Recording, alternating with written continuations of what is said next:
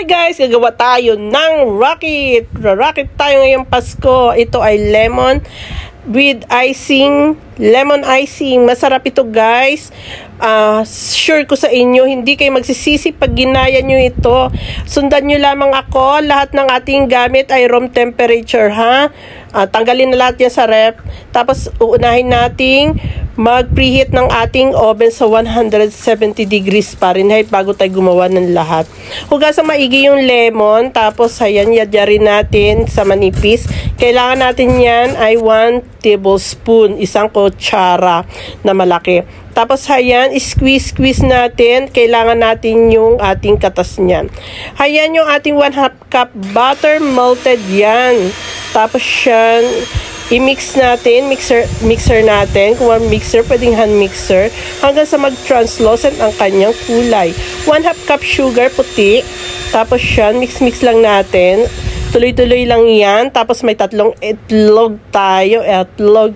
Ayan yung tatlong itlog natin. Ilalagay natin sa... Uh, yung tatlo ay one in a time. Ayan. Yung ating itlog. Isa-isa yan sa ating paglalagay. Tapos mix, mix, mix lang natin. Okay, konting tiyaga lang yan. May tiyaga, may nilaga. Tapos, hayan ang ating all-purpose flour. 1 and 1 half cup yan. Salain natin para mawala ang kanyang mga lumps-lumps. Ayan, 1 half teaspoon salt, 1 teaspoon baking powder. Ipagsama-sama na yan. Ayan, tapos 1 tablespoon lemon zest, 1 half cup lemon juice. Ayan, pagsama-sama at i-mix natin. Huwag masyadong matagal ha, pag nakita nating na-combine na silang lahat, ay pwede na yan, baka tumigas ang ating butter. Tapos yan, mag-grease tayo sa ating pan at lagyan natin ng bake parchment paper para madali siyang matanggal, matuklap ba. Pag naluto na, matutuklap na yan ng mabilisan, hindi kayo mahihirapan o masira ang inyong butter.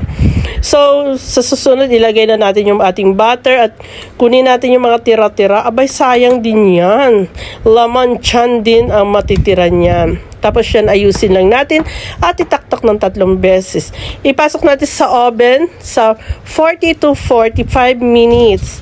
Uh, after 40 to 45 minutes, hayan. Hayan yung ating cake after 40 minutes. I-toothpick test na natin. Pag malinis na ang ating toothpick test, ay luto na yan. Tanggalin na natin sa ating pan. Hayan, napakaganda ng ating cake. Hindi kayo magsisisi. Ito naman yung ating icing.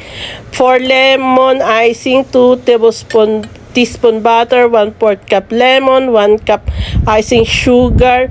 Halu-haluin para hindi masunog. Water bath yun na, mayroong tubig sa ilalim kasi yung butter madaling masunog yan. Yan, mix-mix lang natin pag ganyan na ang kanyang kulay at ganyan ka sticky. Ay, masarap na masarap na yan guys. Tikman mo, sure na sure ako 100% sasabihin mo, hindi ka magsisisi nito. Thank you for watching Mama Chup Chup.